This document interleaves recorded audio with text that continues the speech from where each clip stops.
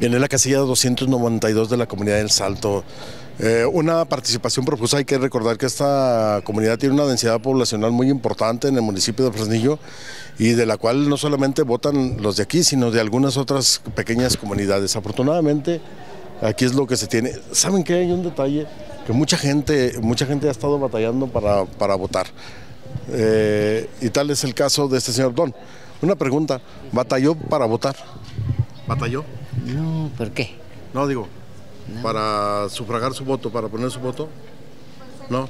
No. Le tuvieron que ayudar, ¿no? Pues no, yo solo allí. Usted solo. Ey. Bien. Ok, está bueno. Bueno, eh, eh, es que describo algo de esta persona. En verdad no sabía, mostró que no sabía leer ni escribir.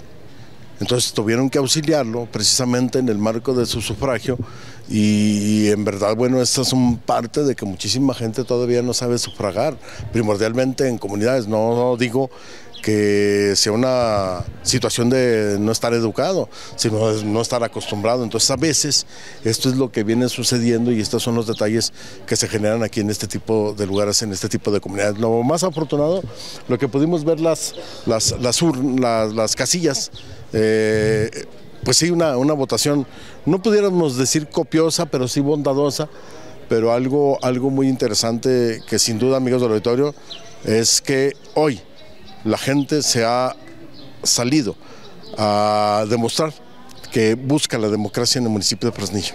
Don Rodolfo Muro Aguayo, uno de los íconos de aquí de la comunidad del Salto. Don Rodolfo, dígame un detalle eh, importante venir a participar en este proceso electoral. Desde luego, desde luego que es muy importante, dado que son pues, eleccio- elecciones de las más importantes que, que se deben de atender. Claro. Se deben de atender independientemente de todo. Este, a nosotros, por mi parte, por mi parte de mujer, pues, orgullosamente hemos luchado siempre. Hace 40 años que tenemos luchando por este, vamos a decir, por este sistema, pues, ¿verdad? Que Por un tenemos mejor actualmente. México, ¿no? Un mejor México, sí, es cierto. Claro. Y, y bueno, pues gracias a Dios ya, pues ya lo miramos. Oiga, eh, don Rodolfo, vemos que con mucha, con mucha alegría que la gente está, está participando. Sí, sí, gracias a Dios, digo, este, la gente ha atendido al llamado, ¿verdad? Independientemente de las conciencias de la gente que debe de votar por quien quiera libremente, Claro. ¿verdad? Libremente. Entonces, bueno, pues para que la gente votara libremente, pues, habría que, habría que decirle, enseñarle, orientarle, y ya, depende de ellos, y así estamos. Gracias, Eh, Rodolfo. claro que sí.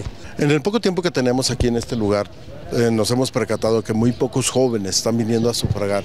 Un detalle que deja en claro que la mayor parte de son quizás adultos y que tienen un compromiso precisamente con este cambio para este México.